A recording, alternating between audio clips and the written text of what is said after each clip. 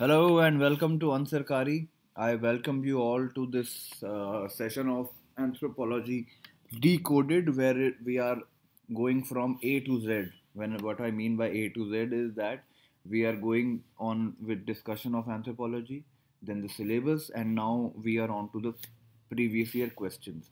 Okay, so what we had uh, discussed till Unit Six, which was anthropological theories and now we are going ahead with the remaining topics. So if you have gone through uh, the videos on syllabus you would know that this particular unit which is culture language and communication this is one of the easier topics in uh, paper 1 and also this is the topic which is related to multiple uh, areas within the earlier topics that you have done. Why i say that is let's say for example the unit on culture the unit on society, the uh, the uh, unit on uh, branches of anthropology, which is you know linguistic or sociocultural. Okay, and there are there is a generic tone as well to the topic also. Let's say, for example, uh, that point on verbal and non-verbal communication. Okay, so we'll not discuss the syllabus. We've done that. We'll go through the question. Look at this. In 2019, it said the relationship between linguistic and social cultural anthropology. So you have studied what is linguistics, you have studied what is socio-cultural anthropology, you have studied culture also, and you have studied society separately also. And now you have studied about the characteristics of language also, right, with context to culture and communication. So, this is a multi-dimensional kind of a topic that they've asked. In 2018, the question was that uh, to critically examine structure and content of language influenced by culture. So, what is the influence of language and culture? That means both vice versa culture on language and you can also understand language on culture right? You can easily understand uh, we have such a complex uh, kind of uh, structure of language in modern societies or in you know western societies. There is there is a vast amount of complexity. There are slangs uh, there is a mix of different languages but you wouldn't see this kind of a structure in a simpler society in a tribal society. Okay? So why is that? Why what is the influence of that culture on the structure and content of language? You can easily you can even comprehend that while reading the question. The next is totally a direct question on non-verbal communication right? Again state the theory regarding the origin of spoken languages in human society both from biological and cultural point of view so you have to keep in mind the biological aspect, the cultural aspect, and the theories, right? So separately, you will be studying theories also. You will be coming across different aspects of theories in separate units also, right? So do you understand what kind of overlap that we you can see in this topic? Even the questions, the syllabus, everything. Okay, the next topic which we studied if you remember, if you go back to that part where we talked about the research methodology, it is one of the cornerstones of anthropology because uh, the difference between anthropology and major different subjects is on the research methodology also, right? So in 2019, you can see the question was discuss the phenomenology as a research method in anthropological studies. So you will be studying about these uh, research methods in detail. And you should know that as well yourself. Because the subject the core area of subject is on research methods. Different research methods that are employed right? So you have to discuss uh, phen- uh, phenomenology.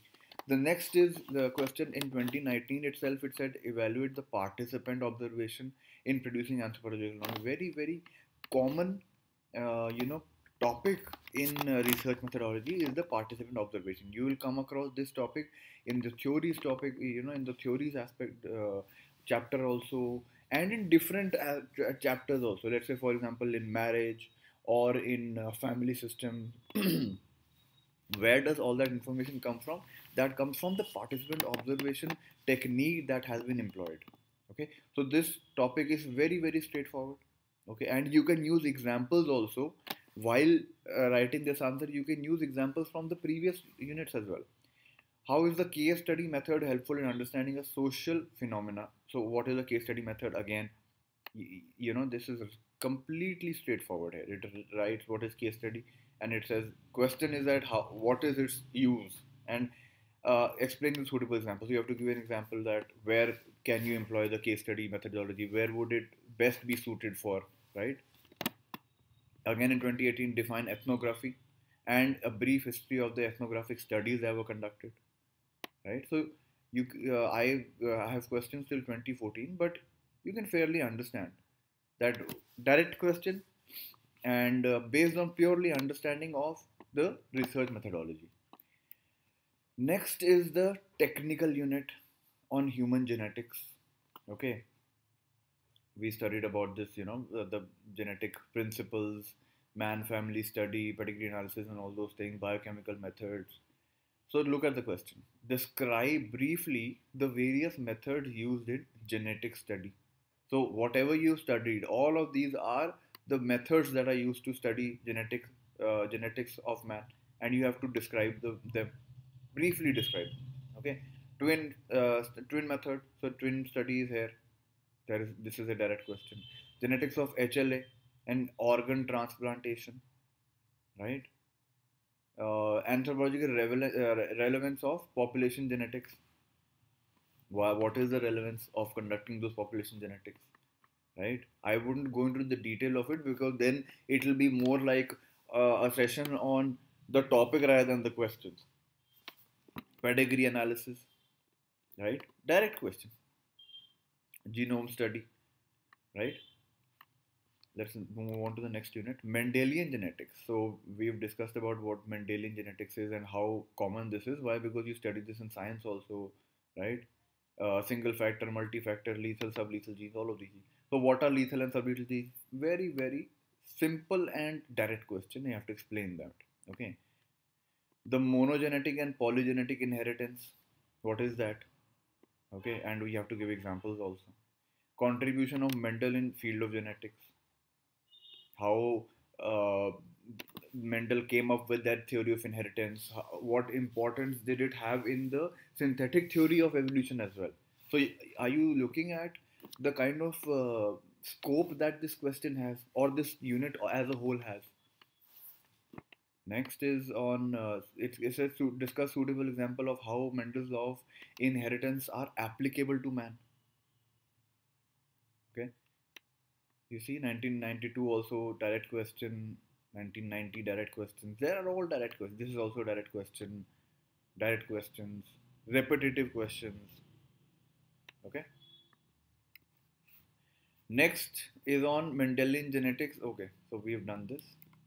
9.3 concept of uh, genetic polymorphism and selection. Okay, Hardy-Weinberg law, causes and changes, mutation, isolation. You've gone through all these terms in detail, genetic drift, inbreeding, in your previous unit on uh, evolution. You know, let's say unit 1.5, 1.4, all those units have these details, uh, have these terms in detail. We've talked about consanguineous, non-consanguineous, mating. We've done this in uh, chapters on family, right? Look at look at the question. Differentiate between transient and balanced gene, uh, genetic polymorphism and illustrate with the example, right? Hardy-Weinberg law in 2017 direct question. Mendelian principles and application another direct question. This can be taken for this also. This can be taken for the previous unit also. What is genetic polymorphism? Uh, detail of its type with suitable example immunogenetics. You, you know many of these terms uh, you will find these terms in newspapers also in current affairs also. Factors affecting gene frequency among human populations so you use all of these terms. Mutation isolation selection inbreeding genetic drift. All of these factors are affect the gene frequencies. You would have understood fairly by now if you've done your syllabus and uh, you know what affects gene frequency genetic load what is genetic load? So this is a question that can be asked even from unit 1.4 how is it measured and what are the important factors? Genetic polymorphism again hardy weinberg law. Genetic polymorphism are you looking at it? Are you are you uh, you know can you even see that uh, there is so much repetition in the questions? Why? Because this is a very static topic the terms in the topic are static, the current affairs are not static. So you have so much of value addition to be done. Next is on chromosomes and aberrations. Okay, so we've discussed about all of these, uh, you know, chromosomal aberrations, uh, Down syndrome, Turner syndrome, or uh, all of these uh, Patau syndrome, all of these genetic diseases, or you can say genetic imbalances that have been caused. This topic is on chromosomal aberrations. Look at the question. 2018 it says describe the mechanism for structural anomalies of autosomes with diagrams. So I said that you need to draw diagrams. Somewhere it will say with diagram, somewhere it will not say with diagram, but you have to make sure wherever you can, you have to draw these diagrams. Categorize genes that influence human survival. Explain. So there are multiple aspects to this. You know, explain the significance of screening and counseling for genetic disorders.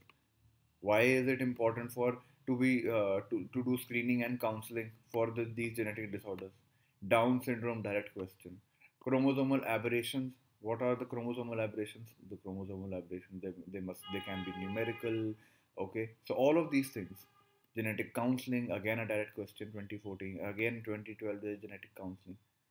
Okay, let's move on on race and racism, the next topic. Morphological variations, racial criteria, traits, uh, biological basis of this classification, all of these things.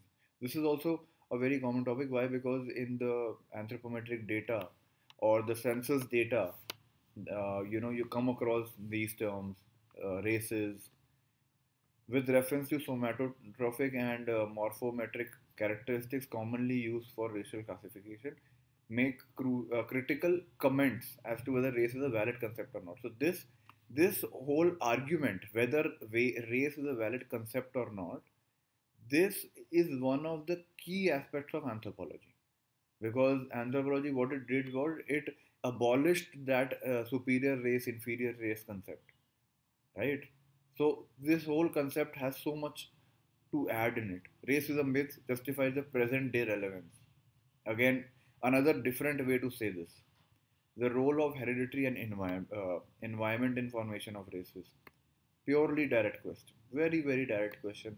Biological basis role of environment okay? Race and racism what are the three major races? Oh so so much so direct question. So easy and so direct. Importance of biological criteria right? Is race a valid concept? See again it is asking the same question differently. Assess the relevance of racial classification in Indian context. So this can be even used for paper two. I think this was a maybe a question paper two only, but nevertheless, you understand right? Next question is on the next unit is age, sex, and population variation. So these terms, ABO blood group, RH, HLA, uh, blood enzymes, blood fat, pulse rate, and all those. See that question. 2016 RH blood group. You have so much to add from your science, even if you have a science background, you have uh, so much of uh, information to add. Genetic markers and their usefulness, blood groups, genetic markers. Again, why are they good genetic markers? We have to give examples. Another question on ABO blood group. This was RH. This is ABO blood group, and it, why is it? Uh, how does it help in resolve cases of disputed paternity? You must have come across certain news items also with this kind of, uh, uh, you know, uh, this kind of analysis that were recently done. There was a DNA analysis for a uh, baby uh, for its paternity, you know, for its motherhood also. Next question is on comparative account of. So this is 2012 hemoglobin, hemoglobin levels, respiration levels, okay, respiratory functions, right? Again, ecological anthropology. So we've studied different kinds of anthropology. Now we have ecological anthropology. So the biological adaptations. This is a very interesting topic also because you will find these if you uh, you know you've done some kind of traveling and you have interacted with different kind of people from different regions or even you have looked at pictures, let's say, of Eskimos or people living in higher altitudes or people who live in deserts, what kind of uh, physical adaptations that you can see in them. There are some very minor adaptations, right? Human adaptations are always biocultural in nature. Discuss the relevance. Okay, reference to the uh, human adaptation in high altitude climate. Difference between uh, adaptation, adaptability, and acclimatization, with example. Response to acclimatization to high altitude stress. Very direct questions. Very very direct questions. Okay? You can see all of these. Ecological anthropology directly asked 2014 again high altitude stress 2014 acclimatization in cold, cold climate 2015 right? So i hope that there have been uh, so much of thoughts you know coming into your mind. Even if uh, you go through the newspaper you will be having so much of material so much of data so much of so many points coming into your mind while going through these questions. That is why it is very important to first see the syllabus and questions before jumping on to what do i read for uh, the subject or should i take it or not. The only way you can un- understand it is by looking at the uh, it in a in a whole so I hope that uh, whatever we are doing and uh, what whatever we have done till now, you are finding it of much relevance. If you have any kind of suggestion, please, please, please make sure that you add those comments so that we can uh, add new uh, perspectives to our whole discussion. And uh, if you want us to cover any other optional also, let us know in the comments. Uh, do like to do remember to like and subscribe share this video and uh, we'll meet you in the next session that we have. Thank you so much for your time.